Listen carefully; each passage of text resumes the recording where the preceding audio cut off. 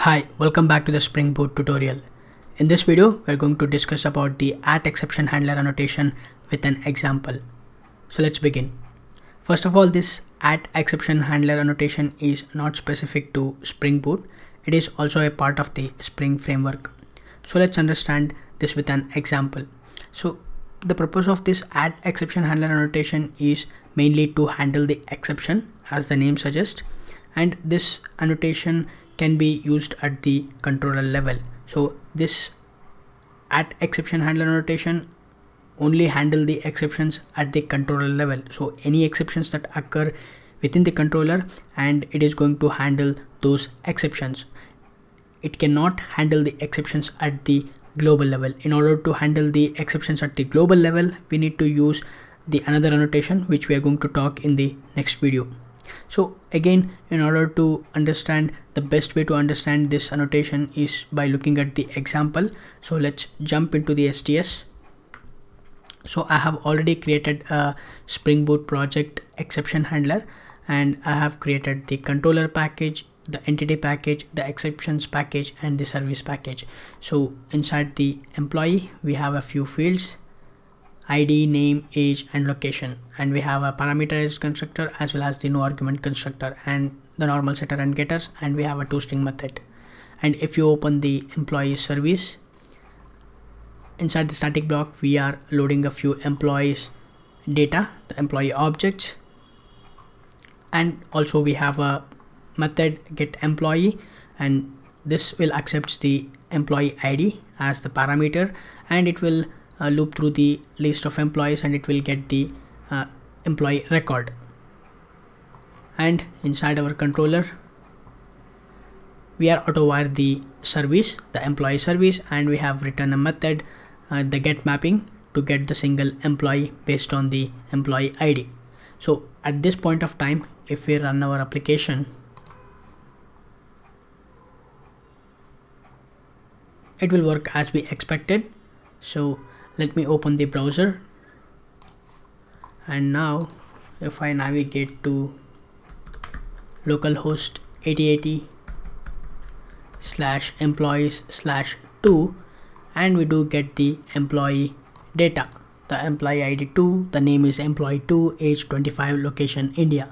So now if i try to access the employee id which is not available in the uh, database or if it is not in the list let's say 56 and we do get a white label error page. And if you look at this error uh, this is not a good practice like because we are entirely we are not handling the exception as of now and we are printing the stack trace inside in the browser okay? So we are exposing a lot of data to the user or the, to the end user. So we have to handle this exception properly okay? So in order to display this white error page white label error page we have to send uh, the error response in the json format so that the uh, end user will understand or we can um, the whoever is uh, uh, consuming the rest api or whoever consuming the endpoint he can uh, read that response and he can show a proper message to the user. Okay so let's see how we can handle that using the at exception handler annotation. So let's go to the spring tool suite first of all let me stop the server.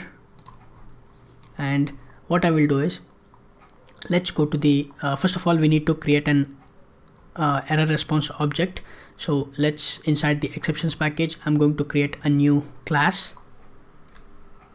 I'm going to call this error object. And this will contains a few fields. Private int status code private string message private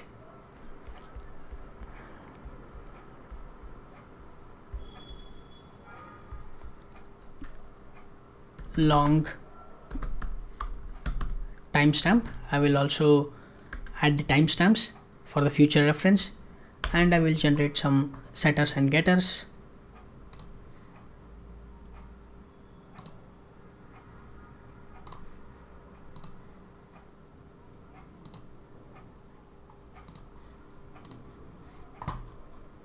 And also I'm going to create a constructor, the parameterized constructor.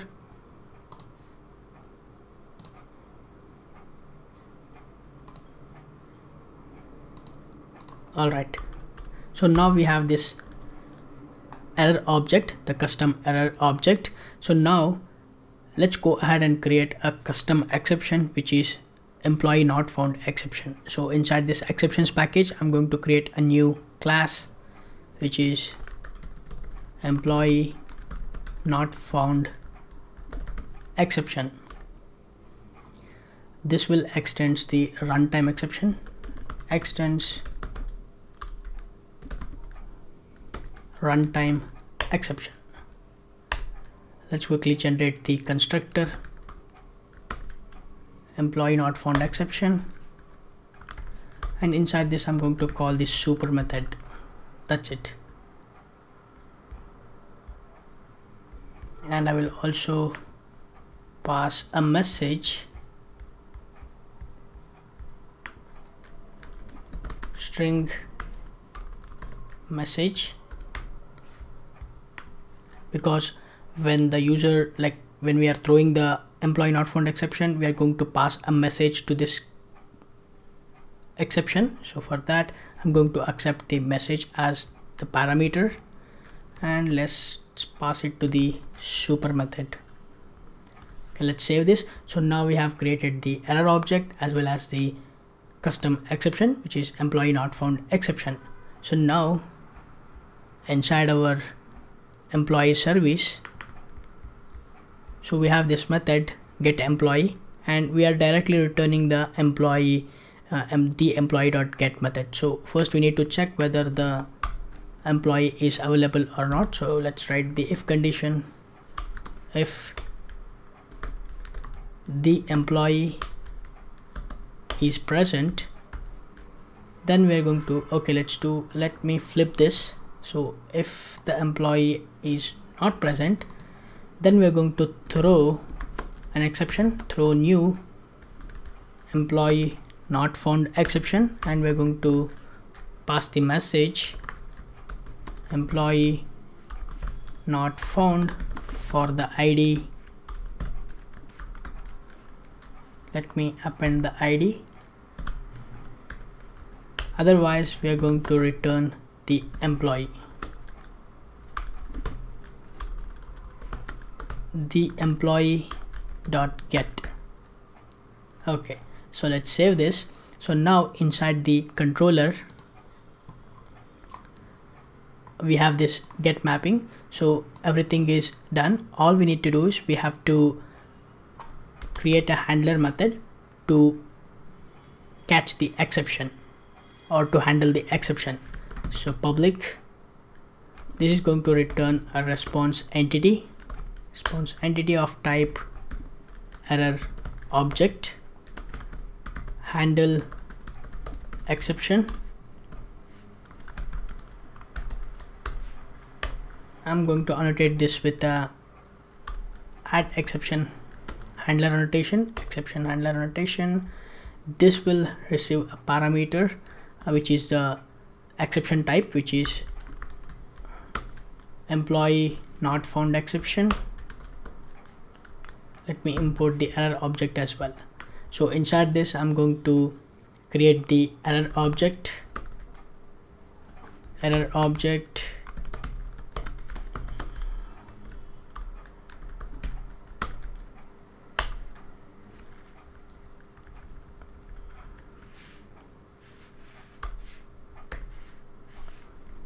okay so inside this error object we have not created the empty constructor or the default constructor. So let's actually uh, pass the parameters to it this this constructor dot so http status dot not found dot get or value okay? And second parameter is uh, the message. So exception dot get message. And the third parameter is the let me see what is there in the third parameter. Timestamp okay? So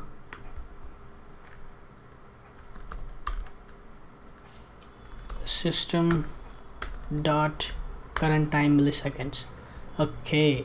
So now we are going to return the response entity return new response entity which is of type error object and we're going to pass the error object error object and http status to not found.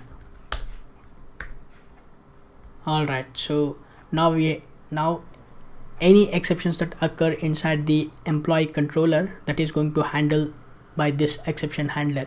Okay so inside our service we are throwing this exception and this will come to the controller. And in the controller we have annotated this handler method with at exception handler and this method is going to handle that exception and it is going to frame the error object and it will return it to the client. So let's test our work. I will save all the files and let's run the file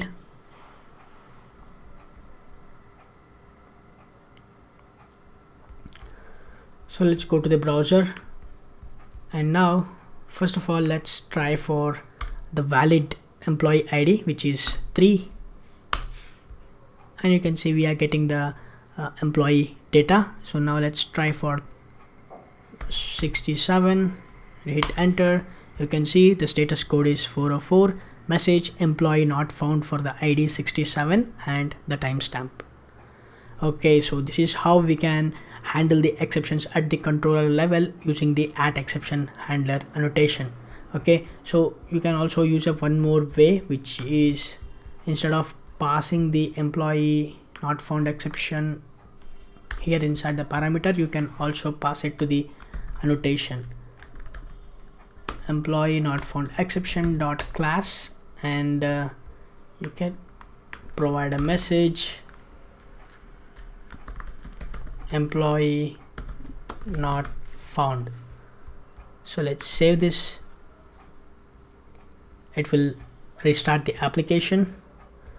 And now if I navigate to the browser and let's try for 78 and hit enter you can see the status code 404 the message employee not found and the timestamp.